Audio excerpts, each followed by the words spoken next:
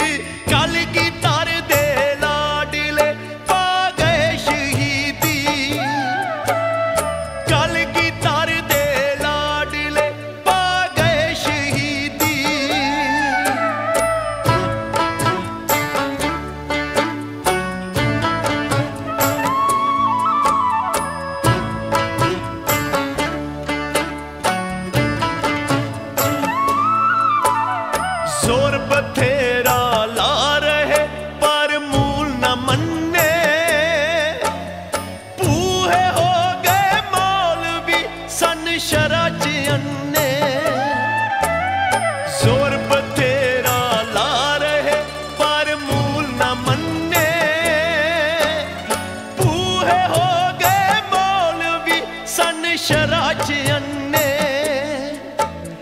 ਹੱਥ ਕਟ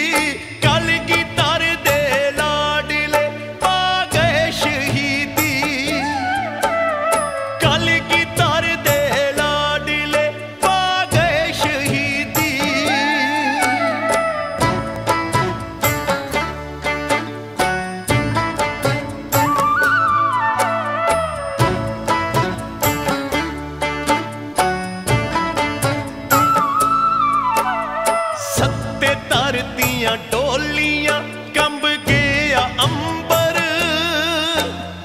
ਔਰੰਗਜ਼ੇਬ ਦਾ ਜ਼ੁਲਮ ਤੋਂ ਰੋ ਪਿਆ ਪੈਗੰਬਰ।